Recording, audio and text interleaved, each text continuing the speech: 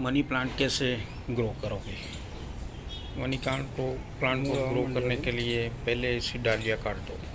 डालिया काटने के बाद पानी में कोई भी एक डोल बाल्टी ले लो उसमें पानी में 10-15 दिन रहने दो।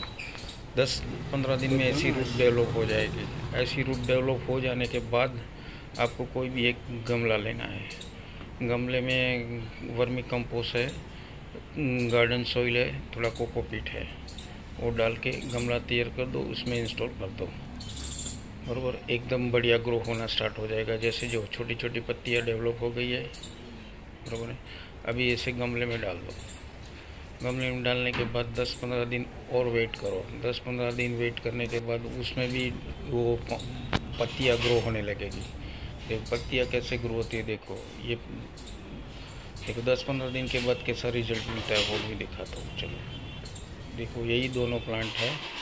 दस पंद्रह दिन के बाद देखो, कैसा ग्रो होने लगा है।